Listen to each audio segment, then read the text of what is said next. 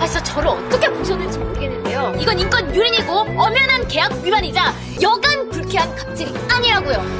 미안하다고 했잖아. 너도 상황 봤으면 어지간히 해. 제가 왜요? 제가 왜 대표님이랑 결혼을 해야 되냐고요? 야, 나도 싫거든? 그러니까요. 아버지랑 나 정략결혼 시킨다잖아, 우리 아버지가! 그러니까 그 자리에 왜 저를 땜빵 시키냐고요. 우리 엄마가 알면 얼마나 불쾌하겠냐고요. 예? 여보세요. 너 잘하고 있지? 어, 엄마. 걱정하지 마. 잡아뜨려. 아유, 아무 일도 없어. 걱정하지 말라니까. 아직까지 아무 일도 없으면 어떡해. 술 잔뜩 먹여. 걱정하지 말라니까.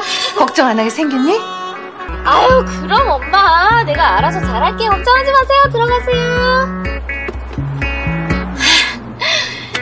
엄마, 걱정을 좀. 어머님이 딸을 너무 아끼시네. 굳이 안 그래도 될 것 같은데. 뭐래 얘가? 자다가 요강 두고 축구